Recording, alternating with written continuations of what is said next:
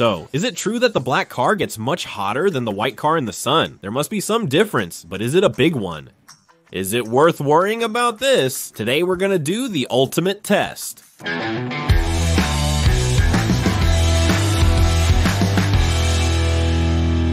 Today is February 19th. It's 10 a.m. here in Sao Paulo, and it's already 86 degrees Fahrenheit. That's very hot for Sao Paulo, but in Rio de Janeiro, it's much worse. There's a heat wave going on there, with temperatures exceeding 104 degrees Fahrenheit, and the heat index, which considers humidity, goes above 140 degrees Fahrenheit. We call it a heat wave when temperatures are 41 degrees Fahrenheit above average and stay like that for some time. 41 degrees Fahrenheit may seem small, but it makes a big difference. Imagine the clothes you wear at 66.2 degrees versus 75.2 degrees Fahrenheit. And that's why we decided to do this test. Everyone says that the black car heats up more than the white car, but does it really make a big difference in practice? We wanted to do a very precise test. What did we do? We rented two identical cars of the same model with the same upholstery from the same year, and we're going to test exactly the same things inside them. Let's get to work. Check out what we're going to put inside the car. A little hot glue stick, which always melts. A bit of paraffin wax. Will this make any difference? A 3D printed boat made of PLA plastic, which doesn't hold up well in the heat. A structure made of toothpicks glued together with hot glue in the corner. I think this one will collapse. And a bit of chocolate. Oh boy, it's gonna turn into a mess. And an egg. Will it cook? And of course, we're going to put a thermometer in there. The sensor I'll place exactly where the driver's back would be.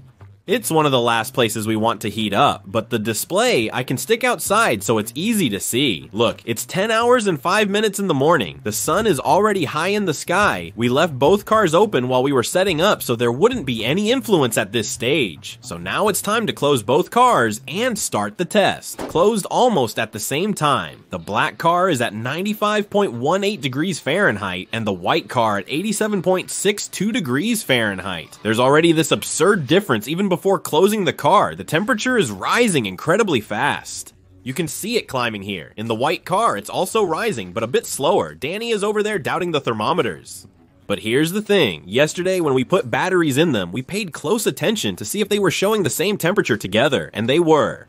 Sometimes there was a difference of 33 degrees. This temperature difference really does exist. When I got into the car to put the things inside, I could already tell that the black car was much hotter.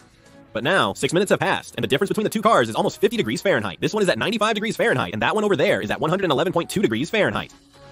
The chocolate was kind of whitish, a bit strange. Now it's completely brown with some oily marks melting.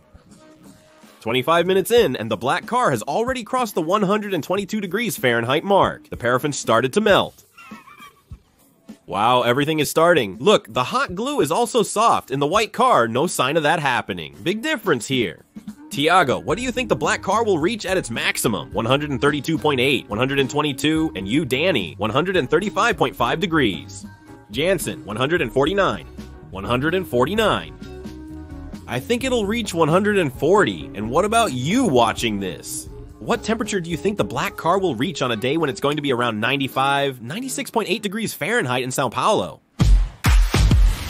It hasn't even been an hour of testing, and look at the hot glue stick.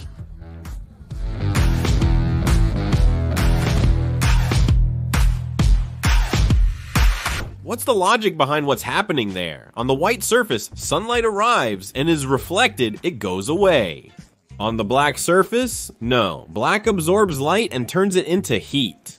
So the tendency is that yes, black heats up much more. We just don't know if this difference is 41, 50, or 59 degrees Fahrenheit. And as you might have guessed, the same thing happens with our t-shirts. Come here and see. I placed the two t-shirts I was wearing at the beginning of the video in the sun. It's been about 15 minutes. Let's take a look at the thermal camera to see the difference between the two. It's absurd. I can place a dot here. On the white t-shirt, it's 87.8, 89.6 degrees Fahrenheit. On the black t-shirt, 115 degrees Fahrenheit.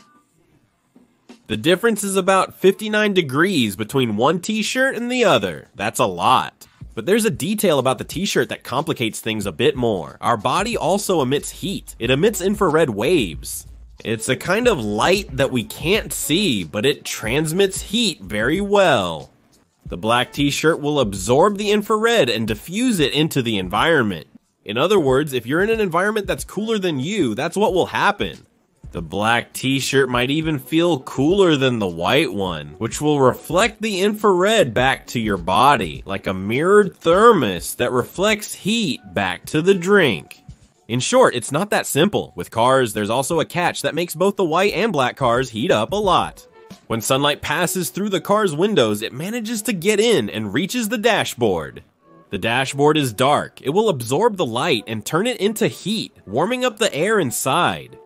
But the air can't escape because of the glass, so this energy accumulates inside the car.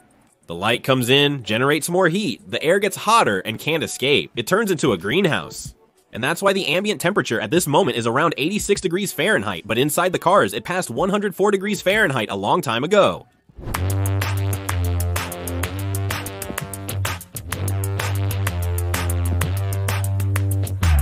It stopped rising. It is 12 hours and 30 minutes AM, and for the first time, a cloud moved in front of the sun. The temperature was only rising until now. Rising, rising, rising. Now it might drop a bit because there's some wind blowing, but I think we already have some pretty cool results.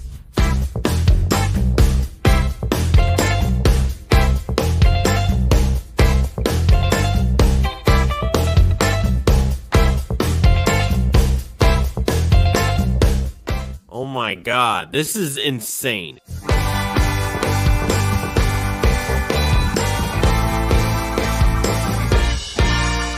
Five hours in the sun, okay? We started at 10 in the morning. It's now 3 p.m. Clouds are starting to pass by. Let's open these cars and see what happened.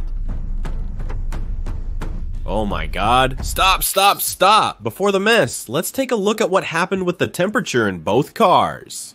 We also measured the ambient temperature every 10 minutes, and this is what we have here. The ambient temperature practically didn't change. It stayed between 86 and 88 degrees Fahrenheit, completely stable. But the temperature inside the cars kept rising. Look, it started differently, right? The white car was 41 degrees cooler just from the short time we spent setting things up with the door open. So this means that even with the door open, with just a little time in the sun, the black car starts heating up much more, and then this difference becomes gigantic. In this range here, we have a difference of about 50 or 46.4 degrees Fahrenheit between the two cars the entire time, reaching up to 140 Fahrenheit in the black car at this point. Then a cloud moved in, so you can see it stopped rising a bit, but soon after, strong sunlight hit from the side and directly hit the thermometer sensors in both cars. Slightly more on the white car, which was shifted a few centimeters closer to the window. And look, the temperature rose a lot, a lot, a lot. In the black car, it reached 160 Fahrenheit. In the white car, on 155 Fahrenheit. Then the clouds came and it started dropping again. What's the conclusion of all this? The black car really does get hotter, usually about 46 degrees more than the white car. If you live in a hot city, and nowadays, who doesn't live in a hot city? When you're driving around the city, and usually you'll have the windows closed because it's dangerous. Who doesn't live in a dangerous city? Either you'll spend a lot more on air conditioning, or you'll just suffer the heat. The love for a black car, which I personally find prettier, will cost you some money. But there's one thing that might be the most important of all. This temperature of 158 Fahrenheit is deadly. If someone stays inside this car for any amount of time, they die. A baby, an animal. There's no way to survive. It's hotter than most deserts in the world. It's very dangerous. Wow, the steering wheel is burning my hand. Let's check its temperature. The car dashboard is 185 Fahrenheit Fahrenheit. It's insane. The paraffin is liquid, like water. If you touch it with your finger, it burns. The hot glue stick fell off, it came loose. I thought the boat would collapse, but it's still intact. It hasn't changed much at all. It's hot, almost burning my hand, but it didn't deform. The hot glue turned into jelly. I'm going to grab it here. Look, it's completely soft, it's gone. The plate is almost burning my hand. Ouch. Look, this chocolate. I swore it would turn into liquid, but no, it kept its shape. But I think if I press it with my finger, it'll crumble. Let's try. Wow, the chocolate is almost burning my hand, and it hasn't melted. It's very warm. It doesn't feel good at all. Let's save opening the egg for the end. Wow, it's so hot. Now let's get into the oven, right? Wow, yeah, everything here is extremely hot. Probably the dashboard is hotter than in the other car. 196 Fahrenheit. 198. Oh my god, let's try checking with the thermal camera here. Look at this. Here in the middle, it shows the temperature of what's being measured there, and the red dot is always the hottest spot. It's already dropping a bit. It's no longer 196 because I opened the car. But you can see that the dashboard, which was getting direct sunlight, is the hottest part of all. Insanely hot. Look, the result isn't very different. The paraffin completely melted. It's here. Liquid like water. The hot glue stick fell onto the car dashboard and stuck here. Now I need to remove this hot glue quickly before it creates a mess. I'll clean this up in a bit. The boat, same thing. It didn't deform, theoretically. The chocolate plate, oh my god, this thing is about 176 Fahrenheit. You can't hold it with your bare hands. And the chocolate is the same. I think this chocolate here, it doesn't melt people. It's unbelievable. It's brittle. Look, it feels like clay. And the hot glue here got even worse. The hot glue and the black car disappeared. Let's crack these eggs open. The egg is burning my hand. Let's open it in the shade. At least for me, this part here is the coolest of all. I wonder if we can cook an egg on the car dashboard. I'll crack open the egg that was on the white car's dashboard first. Look, it's like a poached egg. It's not fully cooked, but it's whitish, completely white inside. Look at that. Oh my goodness, it's so hot. Now look at the egg that was in the black car. It's practically cooked. Oh my god, look at that. If you let it cool down a bit, it gets really firm, really firm. The yolk is hard, look. The yolk is like powder. If cooking an egg on your car dashboard isn't worth a thumbs up, I don't know what is.